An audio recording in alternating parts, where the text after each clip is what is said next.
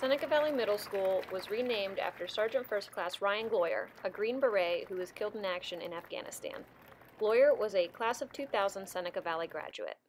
However, having heart can also speak to compassion shown for someone, recognizing sadness and replacing it with joy, or standing up for those who are unable.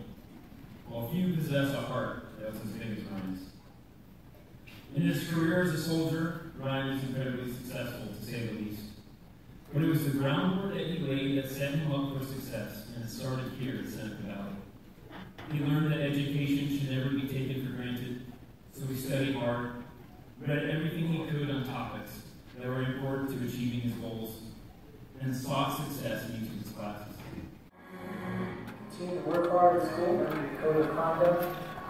You never know what can happen. Set your mind to discouraged right now. You're to achieve anything that you